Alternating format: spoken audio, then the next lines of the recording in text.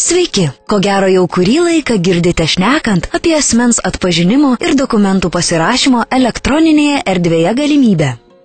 Ta padaryti galima ir su naujo pavyzdžio asmens tapatybės kortele. Jums tai reikės dviejų dalykų. Visų pirma, reikia kortelių skaitytuvo. Jų būna įvairių tipų. Beje, jei tokio skaitytuvo neturite, juo galite nemokamai naudotis mūsų šalies viešosiose bibliotekose. Antrasis dalykas - jūsų asmens tapatybės kortelė. Kiekvienoje nuo 2009 išduotoje kortelėje jau yra ir jūsų elektroninio parašo duomenys. Autentifikacija - tai asmens tapatybės patvirtinimas vienoje ar kitoje interneto svetainėje teikiančioje elektroninės paslaugas. Anksčiau, norint gauti statybos leidimą, prie sistemos dažniausiai buvo jungiamasi per elektroninės bankininkystės sistemą. Išsirinkus savo banką, reikėdavo suvesti prisijungimo duomenis. Tik tuomet bankas perdavęs sistemai jūsų asmens duomenis patvirtindavo jūsų tapatybę. Dabar, kaip minėjau, visą tai galite padaryti naudodamiesi asmens tapatybės kortelę. Parodysiu, kaip naudotis autentifikacija elektroninių valdžios vartų svetainės teikiamoms paslaugoms. Su asmens tapatybės kortele galima užsisakyti bet kurią šių paslaugų. Pavyzdžiui, aš rinksiuos štai šią. Šiame sąraše šalia bankininkystės sistemų yra ir mums reikiamas prisijungimo būdas. Naudojantis asmens tapatybės kortelę. Matome standartinį prisijungimo puslapį. Šiuo metu į skaitytuvą reikia įdėti savo kortelę. Įdėję kortelę galėsime pradėti autentifikaciją. Jei viską atlikote tinkamai, naujai atsivėrusiame lange matysite savo vardą ir pavardę. Tuomet spustelėkime štai šį mygtuką. Dabar reikės įvesti savo asmens tapatybės kortelės PIN kodą. Jis jums turėjo būti duotas, kai gavote asmens tapatybės kortelę. Kodas turi būti specialiame voke, panašiame įgaunama kartu su banko kortele. Viskas, Čia matysite savo vardą, pavardę ir asmens kodą. Prisijungimas prie sistemos baigtas. Taigi galima užsisakyti norimas paslaugas. Spauskime pateikti. Tik nepamirškite, baigę darbą atsijungti nuo sistemos. Dar vienas iš mano minėtos asmens tapatybės kortelės funkcionalumų - galimybė elektroniniu parašu pasirašyti dokumentus. Teoriškai elektroniniu parašu galima patvirtinti bet kokio formato kompiuterinę bylą, netgi paveikslėlius ar garso įrašus. Tačiau dažniausiai elektroninio parašo prireikia tvirtinant įvairias sutartis ir dokumentus. Na, o parašas ant šių dokumentų uždedamas specialiomis programomis - Justa arba Signa. Jas rasite visuose viešosiuose bibliotekose esančiuose kompiuteriuose, o į savo kompiuterius jas nemokamai parsisiųsti ir įdėkti galite iš šių svetainių. Kaip tik čia aš turiu vieną sutartį, kurią reikia pasirašyti. Padarykime tai kartu.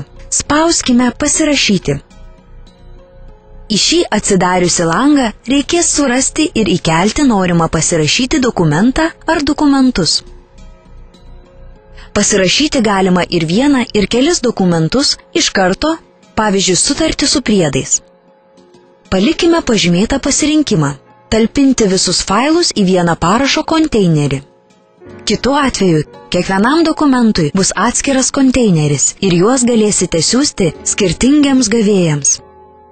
Pridėję failus spaudžiame mygtuką toliau. Jei reikia, prie parašo galime pridėti ir komentarų, tačiau šį kartą palikime šį laukelį tuščią. Jei į skaitytuvą nepamiršote įdėti savo asmens tapatybės kortelės, čia matysite joje saugomus elektroninio parašo duomenis. Kaip matote, asmens tapatybės kortelėse sertifikatai būna du vienas skirtas elektroniniam parašui, o antrasis autentifikavimui. Norint peržiūrėti sertifikatus ir susirasti reikiamą, tai reikia atsistoti ant vieno jų ir spausti peržiūrėti. Jei pasirinksite elektroniniam parašui netinkamą sertifikatą ir paspausite toliau, gausite apie tai pranešimą. Dabar grįžkime atgal.